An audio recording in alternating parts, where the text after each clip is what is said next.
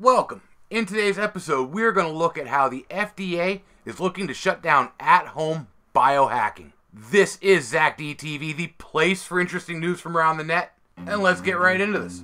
Alright, let's start at the beginning. Biohackers. They are a new segment of our society that are doing at home genetic engineering. I mean, really, these are people at home in their own homemade labs that are editing the genetic code of plants, animals, bacteria, and even human beings. And I want to look at why that's so crazy. It was only like two months ago that researchers were able to edit out a genetic mutation in human embryos.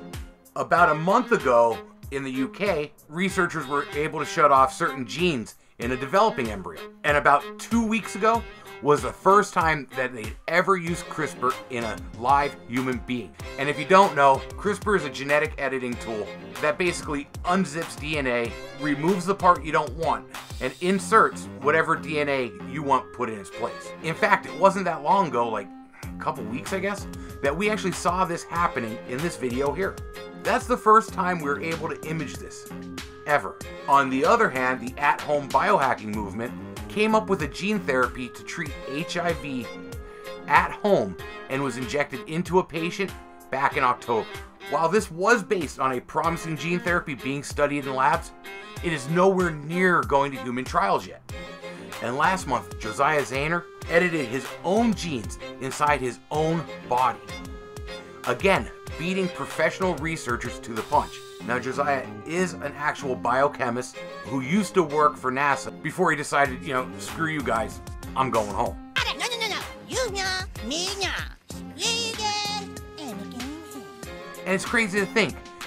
People all over the world were able to watch Josiah edit his own genes on Facebook. Can you see how ridiculous this is getting?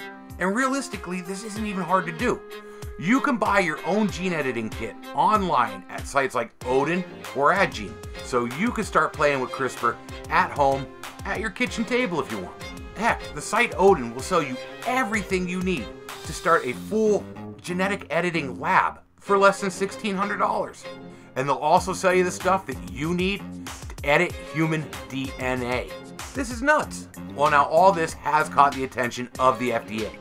Which, don't get me wrong, they've known about these genetic editing kits and whatnot. They've been letting it slide pretty much. All except for this one case where people were selling a kit to edit jellyfish DNA into yeast so you could produce at-home glowing beer. I'm not sure I would drink glowing beer, by the way.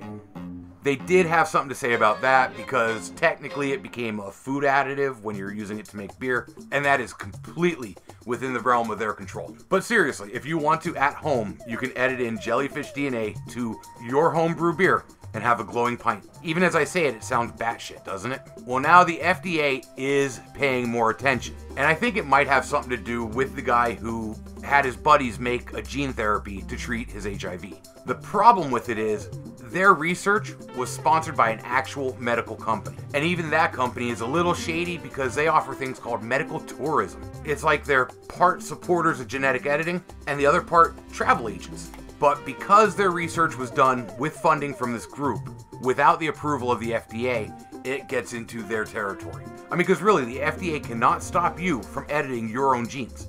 What you do to yourself is what you do to yourself. Just keep in mind, what you do to yourself may not be able to be reversed. And that's the craziest part about this. Anyway, in a statement released by the FDA on Tuesday, they said they were aware of the CRISPR kits and aware of the companies that are selling them. And while they can't do anything to stop you, they are looking into how to stop the sales of these kits in the United States. I'm not one for big government oversight, but on the other hand, think about this. That $1,500 kit comes with complete instructions, so even if you know nothing about genetic editing, it will walk you through the process step by step.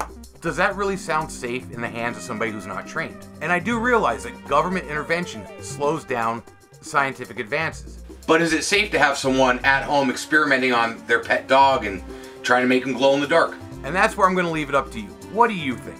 Is this somewhere the government should step in? Or should they just mind their own business and let these people edit themselves any way they want? Leave your thoughts in the comments down below. If you enjoyed this video, how about you hit that like button? And heck, while you're down there, go ahead and click that subscribe so you can get interesting news five days a week. I want to thank everybody for stopping in, and until next time, have fun and be safe.